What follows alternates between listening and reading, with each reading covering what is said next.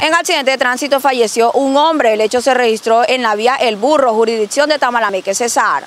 El hoy fallecido que fue identificado como Pedro Manuel Martínez Prasca se desplazaba en una motocicleta cuando perdió el control de dicho vehículo y chocó contra un objeto contundente, falleciendo en el lugar del siniestro. Al parecer, la persona perdió el control en una curva y se salió de la carretera e impactó contra un muro, siendo como hipótesis principal de este accidente la imprudencia al conducir. Los actos urgentes fueron realizados por las autoridades correspondientes, quienes llevaron el cadáver al Instituto de Medicina Legal y Ciencias Forenses para la necrosis En el grupo empresarial Carpio, conformado por Carpio Firma de Abogados y Carpio Bienes Raíces, Contamos con un equipo capacitado para brindar los más eficientes servicios de asesorías, consultoría, interventoría en el área legal, así como el área de la administración de inmuebles.